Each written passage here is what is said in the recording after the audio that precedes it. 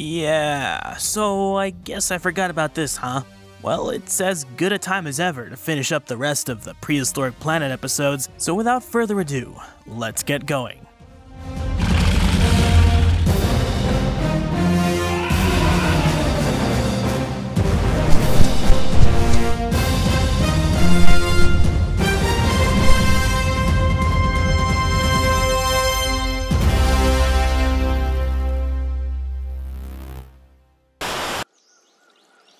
Prehistoric Planet is now officially fully out on Apple TV Plus for everyone to enjoy. This whole project was, according to Dr. Steve Brusatte, about 10 years in the making. Precisely what that means in regard to exact start times, fundraising, and expert collecting all the way to the finished product is unknown.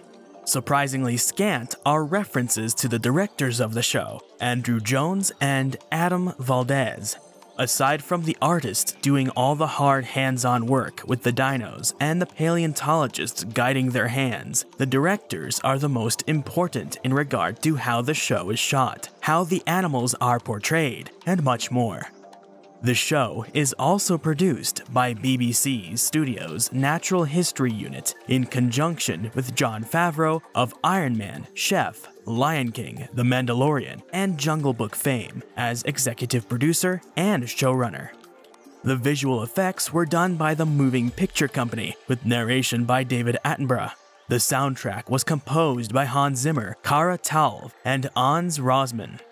Talv and Rozman even invented and modded new instruments for the show in order to make some truly amazing sounds to mirror the truly amazing science going into this series.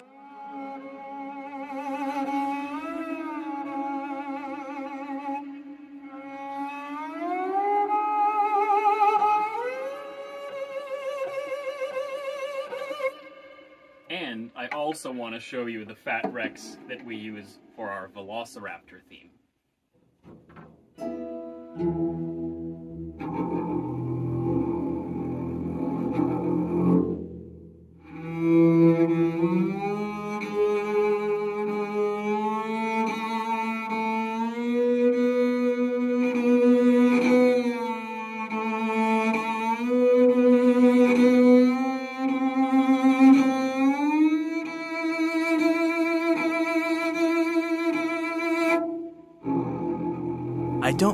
It is exaggerating to call Prehistoric Planet not just a successor to Walking with Dinosaurs, but a superior production aided by Hollywood money and cooperation among everyone involved. No one's expertise was thrown out by executive meddling or a director's personal preference. It would be a crime not to shout out the animators and CGI artists that worked on this project something Apple and BBC apparently couldn't spare the time to do with their credits. Shashank Shekhar is a texture and visual effects artist that worked on the project for one and a half years, specifically working on the Velociraptors, Corythoraptor, Therizinosaurus, Beelzebufo, Ornithomimus, and Troodonts. Another artist that went uncredited is Cameron Clow, who is a creature animator and previs post-viz artist for Marvel, HBO, and BBC. On top of that, he is a part-time animator for Prehistoric Kingdom, hence the quite lifelike movements. He worked on the Triceratops segment, as he has more expertise in the muscles, movement, and life appearance of these guys. Torosaurus is his favorite dinosaur after all. Sanjay Singh worked on some of the main animals, like the Tarbosaurus, Secernosaurus, and more, with the Moving Picture Company. Alan Bolkas was also with the Moving Picture Company with Damien Guilleminault and Anthony Seaben, and supervised by Dan Zelks. Michaela Dahl, who goes by Silvery Lantern on Twitter, and Sean Lack, or Momentarily Epic on Twitter, were also animators brought on board the team. I'm confident that I'm missing some people here, as this project was a monumental effort by a monumental team. Unfortunately, there is only so much I can do to find everyone involved when the show kinda made very little effort to highlight those same people, so I apologize to those I have left out. Unfortunately, the caveat for the whole series is that it only takes place 66 million years ago. However, it takes us all over the world to show us animals that the general audience has never seen before. It also has to show you animals you know, but thanks to 20 plus years of new information since Walking with Dinosaurs, these old favorites are refurbished to show the audience how much the hard science of paleontology has changed. It also doesn't take place precisely at 66 million years. It is stated to be 66 million years for simplification, but it takes place between 72 and 66 million years, just for clarification. These are the most accurate prehistoric animals ever to be recreated in video form. Each episode covers a biome across the planet rather than a chunk of time. It was a five night event with five episodes each coming out on each of those five nights. Recap The Deserts episode of Prehistoric Planet begins as Coasts, and every episode from here on out starts. I described it in my review of Coasts, so I won't do it here. It's just Attenborough talking to us and being profound or something. The True Deserts episode opens up with an upward panning shot of a vast open salt plain before we are presented with a herd of somethings out in the distance. Attenborough announces that we are in South America, which was then a very desolate place, or at least we are in a desolate region of South America. As David continues, he sets the scene for the awesome behaviors we are about to witness. This area is the stage to which the herd of dinosaurs on the horizon migrate to to gather and do some funky mating dances. These are Dreadnoughtus, a very large sauropod from Argentina. This segment of the episode shows us what is called lekking behavior. The herds congregate on the salt flats, and the males fight each other for access to the whole herd of females.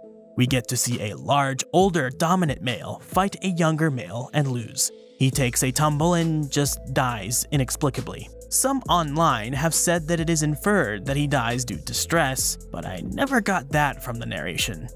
From there, we are taken to another desert in another region of the planet, Mongolia. We are treated to some footage of a real lizard that stands in for a prehistoric one. It is then hunted by a velociraptor. Both of these critters stumble upon a pack of sleeping Tarbosaurus. The velociraptor tries to catch the lizard without waking up the large predators, snapping up some lizards as it does so before getting nipped at by the tyrannosaurs. As the tyrannosaurs wake up and leave, we get to see that they had been chowing down on a sauropod carcass. As they leave, a small flock of unnamed Azhdarchid pterosaurs come down for a snack. I will say that the juxtaposition of a giant sauropod carcass in this scene, right after a scene of a sauropod dying and decaying, made it seem like the carcass was meant to be that of the Dreadnoughtus that died. But the Tarbosaur scene obviously takes place in Mongolia, not South America, so that was just a tad narratively confusing in my opinion. The next segment is the Mononykus one. The female Mononykus digs into an old log to get some real live grubs, showing the viewer one of the main possible uses these bizarre dinosaurs had for their giant single claws. I am almost certain that the claw that digs into the wood log is an actual physical effect because of the way it interacts with the log. From there, we get to the wet season and the Mononykus hides. After the rain comes, the flowers come out and we get to see the little theropod dance around the flowers hunting beetles. The next segment takes us away to one of the most common tropes of any nature documentary. It's common for a reason, it happens all the time in real life watering hole gatherings. So, this scene takes place in Mongolia as well, and we get to see whole herds of various dinosaurs, like Barsboldia, an as yet unnamed giant Mongolian sauropod. Therizinosaurus, some background Tarchia, and we get to see the Tarbosaurus again. Since all animals need water, especially in deserts or during times of drought, all of these critters have to reduce their fight or flight responses in order to get some water we get to see a very Lion King or Jungle Book esque scene of the Tarbosaurus coming down to drink, and the herds of hadrosaurs parting so as not to get their faces sliced in half. This may seem a bit too Disneyfied, but this sort of thing literally just happens today, all over the place, but most exemplary around African waterholes. From there, we are treated to another scene involving the Barbaridactylus that we saw in the Coasts episode. This time, it is speculated that they migrate a bit to these plateaus to breed. Males have the long antlers and females have little nub crests. This segment serves to explain to the viewer the concept of sneaky mating behaviors. We see this today in many animal groups like red deer, elephant seals, lizards, and more. Some males are born with underdeveloped mating displays and drab female-like colors. Their role is to mate with the females that are hoarded by the other males, because the sneaky male looks female and perhaps acts female, he will pass under the supervision of the male and mate with some females, and thus the femboy Barbaridactylus meme was born. All of this is speculative for these pterosaurs, but since we see it across the animal kingdom today, there is no reason to assume this did not occur in other various extinct groups in the past.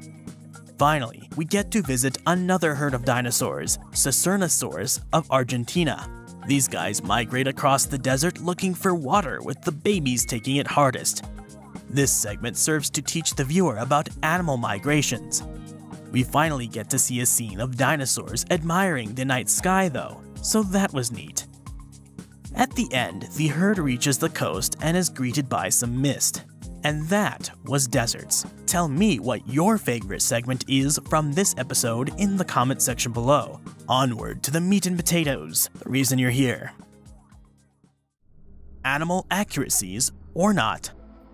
The point of this whole endeavor was to show what the public knows as the main characters of the late Cretaceous, dinosaurs, pterosaurs, and the marine reptiles, in as natural and accurate a light as modern science and technology could make possible to marry the groundbreaking technology produced for and used in the film industry to bring back the long dead with the help of cutting edge dinosaur science. As such, every single critter should be as up to date as studies and fossils will allow, and any sort of soft tissue structure or behavior should be backed up with as much parsimony as possible. Has Prehistoric Planet succeeded in this venture? Well, in order to answer this question, we must first painstakingly approach each and every design with information from the literature, the fossil record, and from the very words of the scientists who were consulted for the project. Kirsten Formoso, Professor Steve Brusatte, John Hutchinson, Robert Spicer, and Paul Valdes, Doctors Darren Naish, Mark Witton, Victoria Arbour, Alexander Farnsworth, and Scott Hartman. Dreadnoughtus Design in this episode, the animal is represented as a lekking and or harem species. A herd of Dreadnoughtus migrate to a salt flat. The females congregate in groups to watch males display to one another and to them. The Dreadnoughtus here are decked out in lots of muscle and fat. They are healthy animals, the weirdest and coolest thing here is the mating display, which consists of inflatable sacks along the neck, as well as a brutish wrestling match. Bronto Smash. A lot of the soft tissues in this show are influenced by the fossil record as well as inferences from modern animals, but there is of course some speculation thrown in as well. A lot more speculation is used when it comes to reconstructing behaviors, but none of these behaviors are purely made up. All of them are seen in many different groups of modern animals. These behaviors are seen across many different groups that vary in metabolisms, intelligence, and evolution, so showing them here in some extinct forms of animals is not implausible, nor impossible. The lekking thing is unknown in just about any extinct animal, it is behavior. How could it fossilize? The makers wanted to show how lekking might work in sauropods, and since the sauropod dinosaurs lasted from the late Triassic to the very end of the Cretaceous period, I don't see why it would be implausible that at least one species developed such a behavior. Their inflatable neck balls are another itty bit of speculation. The sauropod dinosaurs had a labyrinthine system of air sacs throughout their bodies, they were attached to the lungs and invaded the spinal column all the way to the tip of the tail and base of the skull. Here, the researchers on board the series have implied that perhaps these air sacs connected to gular sacs of the throat in a similar fashion to the living greater sage grouse, and voila, inflatable air sacs. Some nitpickers have pointed out that it would be weird for the sacs to inflate first from the head down to the base of the neck as gular display structures in living species inflate upon exhalation, so they should inflate from the lungs up, not the head down. Eh? Some have also remarked upon the facial expressions of the beasts as they tussle, but I don't really see it as anything other than their mouths slightly opening and closing as they breathe. Dreadnoughtus is reconstructed with a thumb claw on the hand. The thing is that the hand bones are largely fragmentary in both Dreadnoughtus specimens. They lack the parts of the hand where the thumb would be, in general, most titanosaurs lost their thumb claw and thumb. However, Diamantinosaurus, a titanosaur from Australia, was found with a thumb and thumb claw. A few other thumb claws are known or suspected from fragmentary or otherwise controversial late Jurassic and early Cretaceous forms, so the presence of it here in prehistoric planets Dreadnoughtus is entirely possible, but more on the speculative side.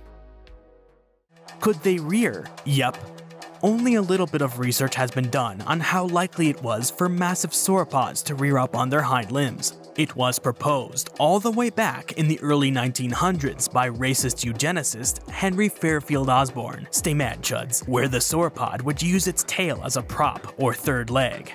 The conjecture was even used as a basis for the Barosaurus skeletal mount at the American Museum of Natural History in New York. A 2005 paper hypothesized that you would find stress fractures in the forelimbs if sauropods were rearing up on their hind limbs, but none were found. A 2009 study by Heinrich Mallison found that diplodocid sauropods, Eurypatosaurs, Dicraeosaurs, and diplodocids were the most adapted to rearing of all the sauropods, and even better adapted for it than elephants. They have their center of gravity right over their hips, had the most mobile necks, a well-muscled pelvis and tail, and tail vertebrae shaped to bear the brunt of heavy loads. The same study found that titanosaurs were not so well adapted, and brachiosaurs were likely entirely incapable due to a wonky center of gravity. That seems to rule out Dreadnoughtus as a rearer, but we're not done. Dr. Darren Naish has pointed out that it should be possible due to their wide hips, agility, strong leg muscles, and muscular tails. Considering the fighting males only rear for a very short time, I find it to be pretty plausible and possible. Plenty of animals alive today do things they aren't specifically adapted for, and sometimes stuff that even causes pain, and yet they still do it, live from it, and continue to do it without evolutionary consequences. I personally find it odd that the one that fell over and lost seemed to have just died. If they can rear, bite, and batter each other, I don't see why lightly flopping over in defeat would be enough to crush the ribcage and die. Tarbosaurus Design After the Dreadnoughtus battle, we get to see a pack of Tarbosaurus lounging around like big birdie lizard puppers. Tarbosaurus is an awfully close relative to Tyrannosaurus and has been lumped into the Tyrannosaurus genus a few times by different researchers over the years. The genus was named in the 1950s based on a bunch of great fossils from late Cretaceous Mongolia. It was like a lighter, smaller form of Tyrannosaurus, hence why it has been named Tyrannosaurus a couple times. There seems to be just a few too many differences between the two to lump them though. Like the Tyrannosaurus of the first episode, these Tarbosauruses are filled out with muscle and fat to the point at which they look like healthy real-world animals.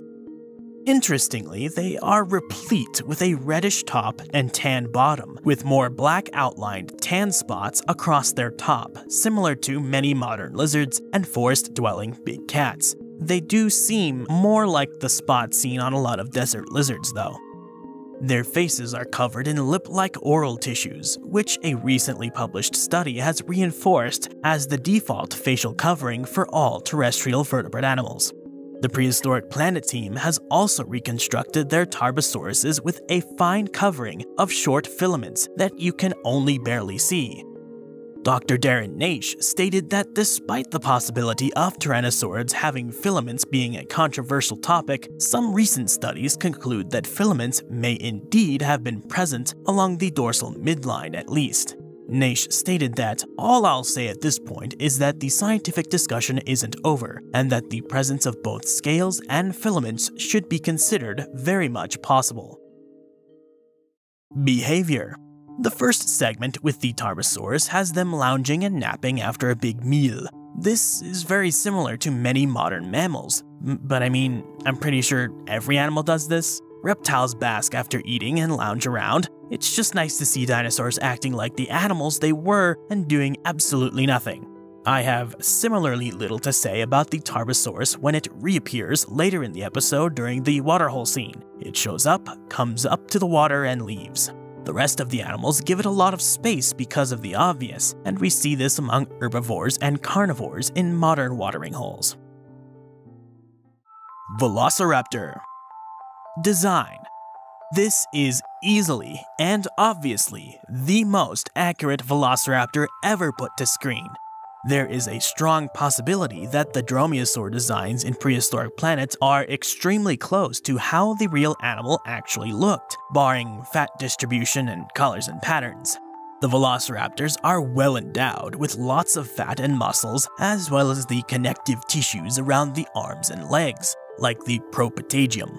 These velociraptors are clad in a coat of simple filamentous feathers and complete veined feathers, this is both an inference from its closest relatives that have been preserved with feather impressions in their skeletons, as well as direct evidence of feathers in a specimen of Velociraptor itself.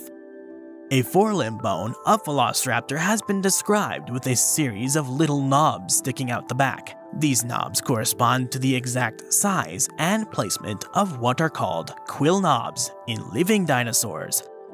Plenty of birds do not have quill knobs, but if those knobs are present, they mean that there definitely were feathers there.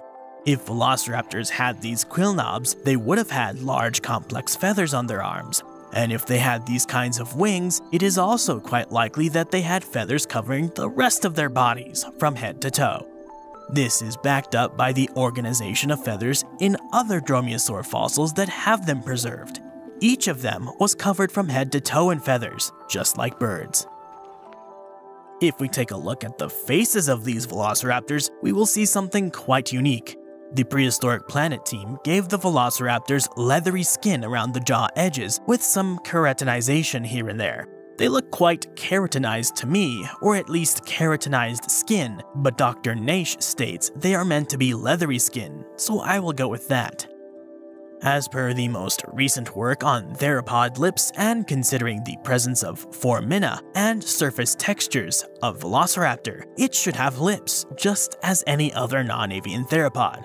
Some researchers and artists have hypothesized that dromaeosaurs have had keratinized skin or pure keratin sheaths over their face almost like bird beaks, but not much evidence exists for this hardened skin that became like keratin or straight up keratinized over time may be possible, what with the presence of foramina and the rough or etched textures of the lip edge in Velociraptor. But I think more might need to be done before something as clear as keratin sheaths can be quantified for these dinosaurs.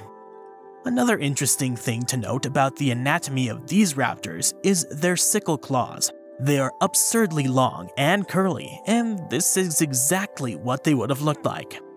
This assertion is based on how much the keratin sheath over the claw bone extends the length of the claw in modern birds, but also other reptiles.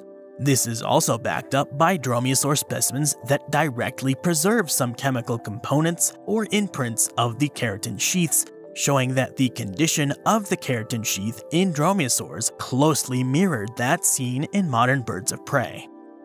Now, there is another odd bit about the velociraptors in this episode. Technically, the genus Velociraptor did not live with Tarbosaurus.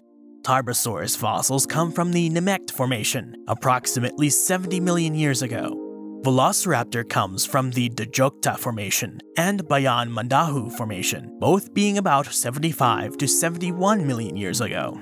The thing is, though, that fossils of velociraptorine dromaeosaurs have been found in the rock layers that also preserved Tarbosaurus fossils. They're just too fragmentary to name.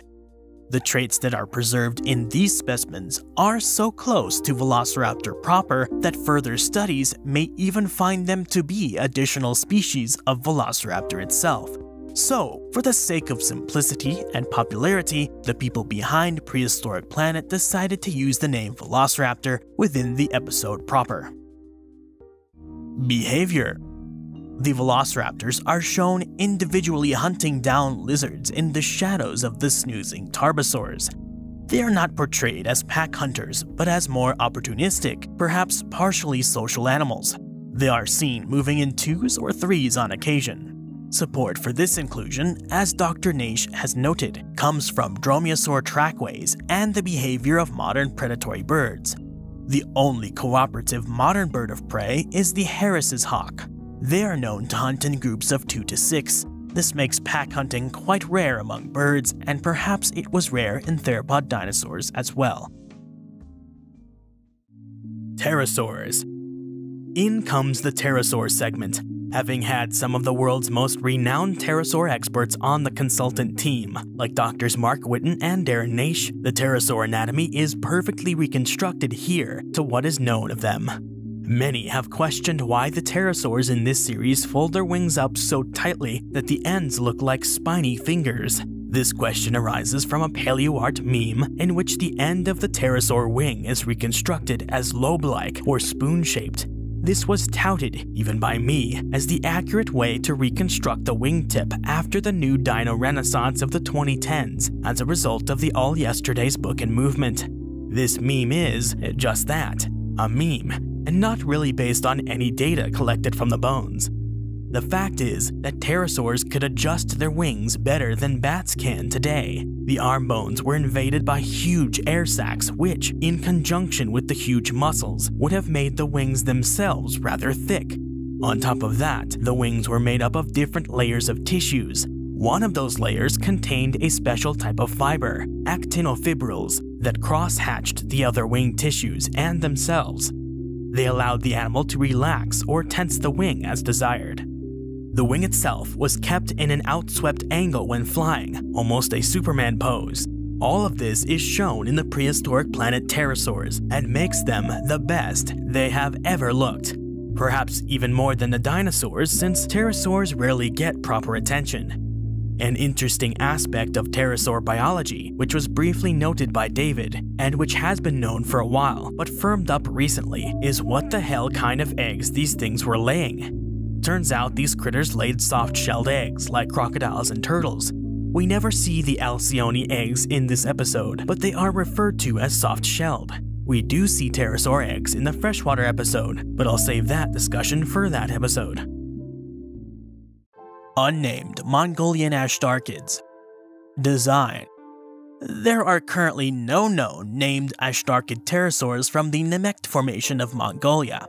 Azhdarchids being the group of pterosaurs consisting of the largest pterosaurs and things to ever fly, like Quetzalcoatlus and Hatzegopteryx, which serendipitously also show up in this show. The Azhdarchids in the segment with the Tarbosaurus may be based on some fragmentary neck bones described in 2017. They were absolutely enormous and probably belonged to an animal similar in size to those other giant pterosaurs I listed earlier. Nothing I say about the overall design of these guys here will be new once I reach Quetzalcoatlus, as these guys use the exact same model with a few minor adjustments. All I will say here is that they are extremely up to date with what is known of these animals. Dr. Naish pointed out that these pterosaurs utilize the forward-swept wing configuration that they likely used at times. They are covered in soft feathers, have nice soft tissues filling out their bodies and heads, and have the uniquely tightly folded wings that we saw in the pterosaurs in the Coasts episode, and will continue to see throughout the series. This is not unusual in a scientific sense, I just never really see it like that very often. Behavior not much can be said of their behavior. Their presence in this segment is to teach the viewer that scavengers have existed since the dawn of time. These pterosaurs, unlike large predatory theropods, Jack Horner, are uniquely well adapted for being scavengers, not unlike vultures, though I doubt these guys were doing that all the time. Mononykus Design all dinosaurs are bizarre to us, that is their nature. That being said, there are some groups that resemble some critters we still see today crocs, ostriches, and crows. Some share some similar body parts with modern animals, like the sauropods or armored dinosaurs. However, there are some super specialized groups of extinct dinosaurs that just go the extra mile in weirdness. One of those groups is the Alvarezsauria. These guys were small to medium sized theropod dinosaurs that sort of resembled the ostrich dinosaurs. They ran about on long, gawky legs, had unremarkable tails and torsos, medium length but skinny necks, small, pointed, and beaked skulls, but the weirdest part is their arms. The majority of the members of this group carried around a pair of some of the shortest arms among the dinosaurs, far shorter comparatively than the tyrannosaurs. The bones of these arms were squashed and enlarged. They were heavily reinforced and sprouted all sorts of flanges for muscle support. The fingers were mostly reduced or entirely gone, except for one absolutely giant finger that was capped by a huge recurved claw. The largest and most well known member of this group is the Mononykus.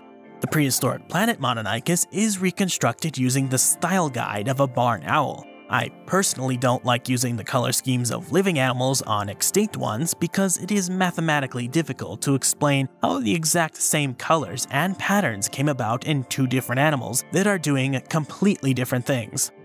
However, I think the Prehistoric Planet team did a really good job of changing up the barn owl coloration and pattern enough to make it something more unique. This Mononykus is covered in simple filamentous feathers across its body, and more complex ones on its arms and tail. Evidence from CT scans of the internal ear anatomy of the Alvarezsaur shuvuuia shows that Mononykus and kin were owl-like in hearing abilities and likely had facial discs, hence the owl-like coloration, but also the owl-like soft tissues on the face and its general twitchy mannerisms. Behavior the overall reduced size and proportions of the arms, but enlargement and reinforcement of singular bones and reduction of the hands to just a big pick-like claw are a set of traits seen only in animals that hunt for social insects by using their forelimbs to tear open hard substrates. The anteaters, pangolins, and some armadillos, and maybe even the Triassic Drepanosaurs. So, this is also the best guess for how Alvarezsaurs fed. The Mononykus digs up termites from dead wood, not a termite mound. Traces of wood nesting termites are common in some Cretaceous deposits, whereas it is disputed whether mound building termites were present in the Mesozoic at all. Termite eaters also often have a long tongue. A tongue skeleton, the hyoids, is preserved in one Alvarezsaur specimen and reported to be well developed. A toothless tip of the lower jaw may have allowed a long tongue to protrude. Alvarezsaurs had awfully long legs for their size, which probably helped them not only escape predators, but also travel efficiently for long distances. And as mentioned in the episode, Alvarezsaurs may have traveled a lot, for insect colonies can be very widely dispersed. The newest Alvarezsaur discovery shown in Prehistoric Planet is their great hearing. A study a few years ago found that they had similar inner ear structures to barn owls, which hunt primarily by ear. Some modern termite eaters like the bat-eared fox listen for prey too.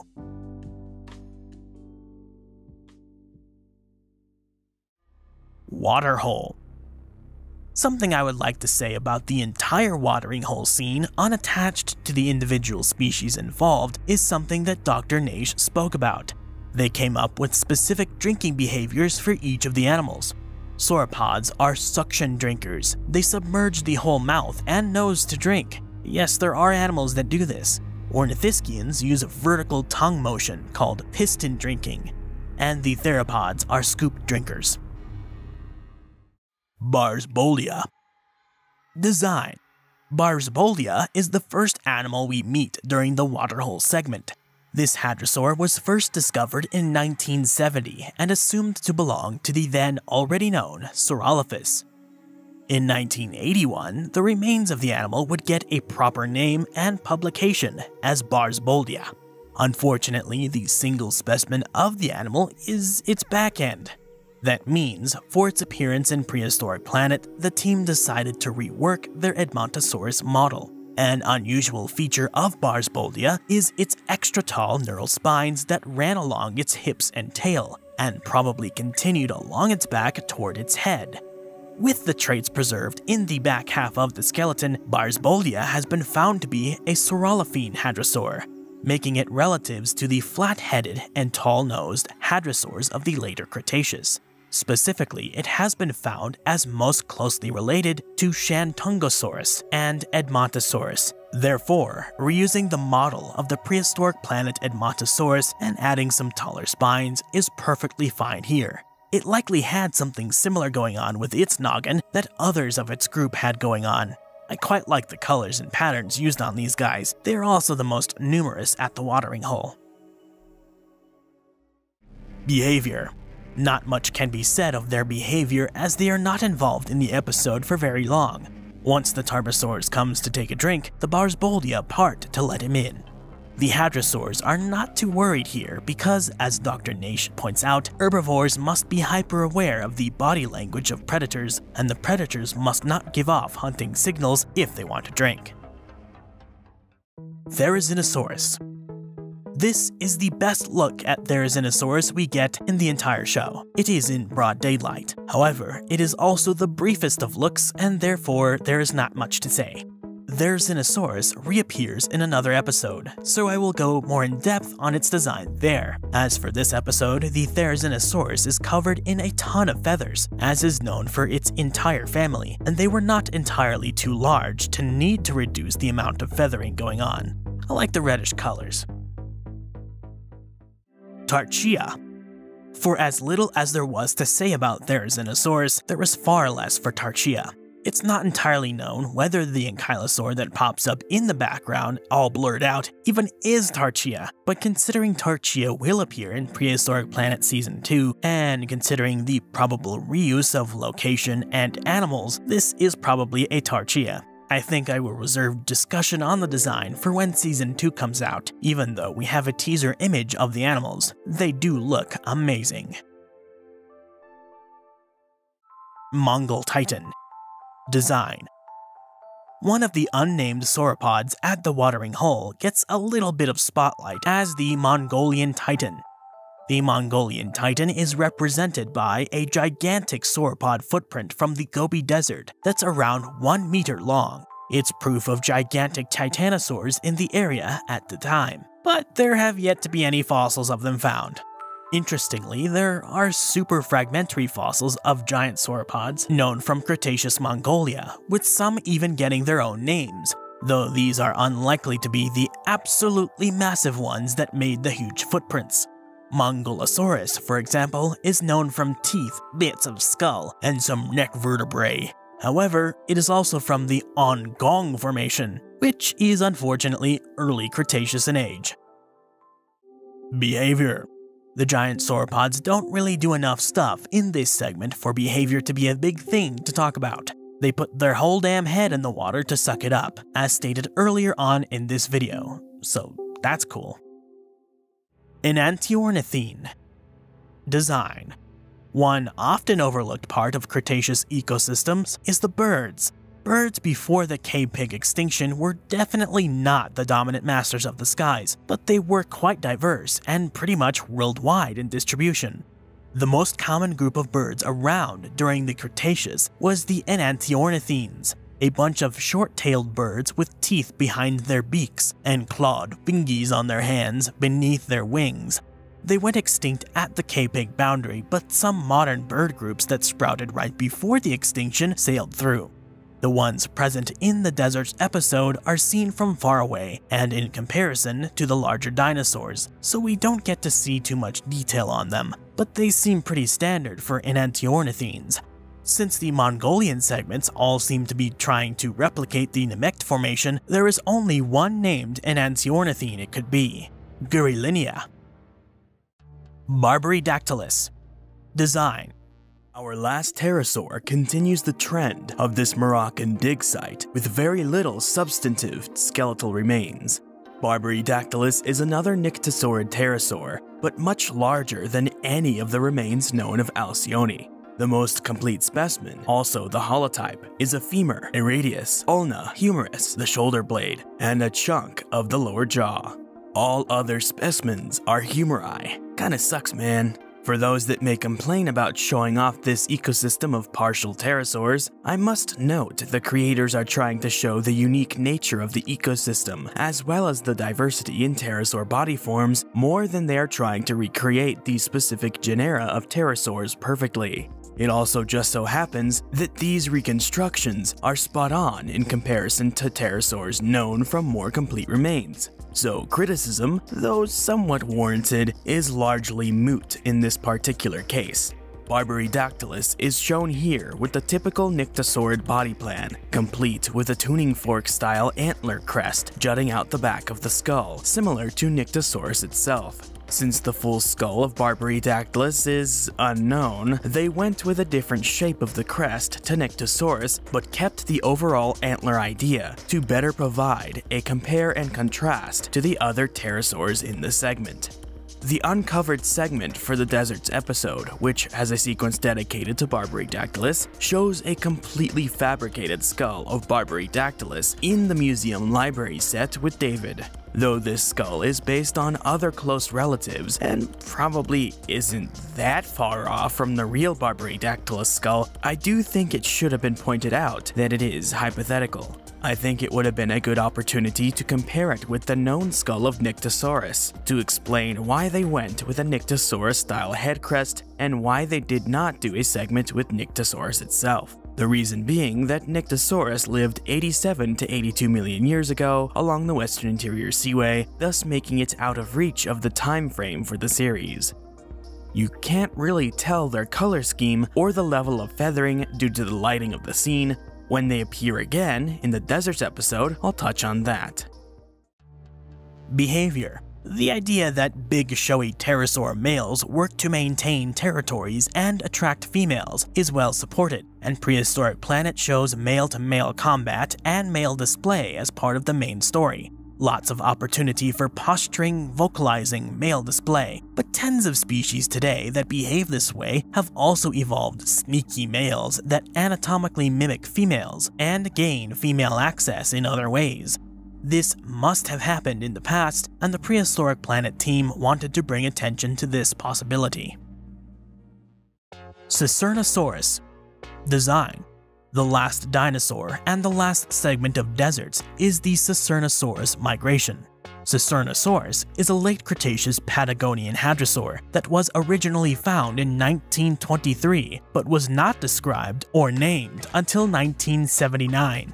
It has had an unusual history regarding what it is related to and who is related to it.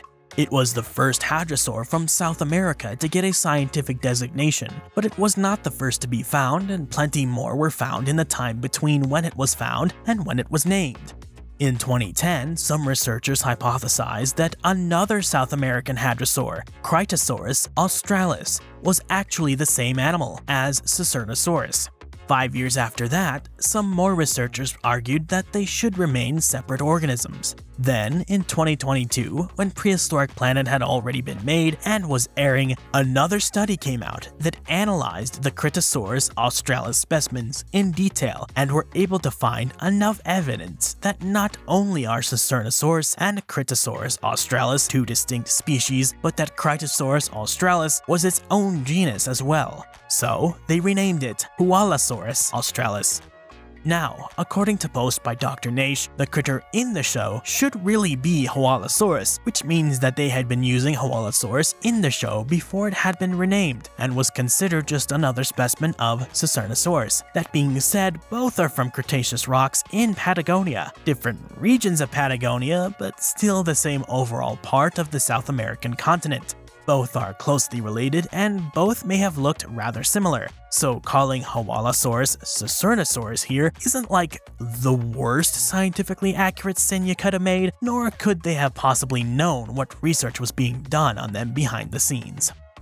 The Secernosaurus show some really cool differences in age, with the juveniles having the usual shorter faces and bigger eyes, but also a neat reddish top and cream bottom with some subtle striping. The adults have less subtle striping and some splotches of an almost iridescent green and blue on the face, with the red replaced with dark stripes over a light background color. I love any close-up we get of these models because you can pick out each individual scale, showing the level of detail put into this. Behavior in the Secernosaurus segment of the Deserts episode, the animals are shown using the stars to find their way out of the desert and to the coast to get some moisture. This is based on its prevalence in living animals that make huge treks, Hadrosaur ear anatomy, based on the many skulls across the Hadrosaur family that have been CT scanned, reveals a huge sensitivity to low frequency sounds, perhaps even infrasound. This seems to be relatively common among the big dinosaurs, so they may have communicated with one another through these types of sounds. The science used for this show is groundbreaking. The speculative nature of a lot of the stuff shown is equal parts necessary and representative of the real world. Two of the main consultants, Drs. Mark Witton and Darren Naish, helped to bring forth the modern dinosaur renaissance with their little paperback landmark book, All Yesterdays. I've made a two-part series of their work here on Edge that you can view to get a really good idea of the kinds of visions that team was trying to convey. With their work, they were not trying to say that speculation should be taken as gospel, or that those who cautioned conservativeness in reconstructing long-dead animals are wrong. Instead, their intention was to show the world that the animals of the past are as the animals of today, gross, complex, and alive. The world around us has only been around us for 1 to 2 million years. Before us, the modern paradigm has been around for 66 million years. Before that, there was an unfathomable expanse of time 184 million years of time. If I wanted to really scramble your brain, there is an even more unfathomable expanse of time before that. But we're talking dinosaurs right now. For as alien as certain parts of the Mesozoic era may seem, the laws of nature retained their stranglehold. Animals of the Mesozoic had a much longer period of time to get gross and complex, so to think so narrowly as to only reconstruct the animals of the past as closely as their bones can say is to completely ignore everything we know about life in fact, because of the much longer period of time that the dinosaurs had, it is nearly mathematically impossible to think they didn't get into weirder stuff than we see today. This seems to have been the driving force behind Prehistoric Planet, at least with the consultants and animators. I mean, we all know Favreau just wanted them to act like animals and look pretty. No shame or shade there. So, what did you think of Prehistoric Planet? This video is way too hefty to only now get into the music, cinematography, and directing, or my criticisms therein. I have just gone through every single aspect regarding the science behind this show based on the very sparse information we have right now. Darren's tweets and the uncovered segments can only tell us so much. I think I can speak for everyone that we are eagerly awaiting a behind-the-scenes documentary on the documentary. In the meantime, we can only imagine. I do apologize for not getting to the rest of the series until the near premiere of Season 2. But it is what it is. At least it might get you to relook at Season 1 before we get more goodies. For more interesting stories about nature, the history of life, or what goes bump in the night, subscribe, like this video, drop a comment in the comment section below, and hit the bell icon to stay in the know with everything Edge. Thanks for watching.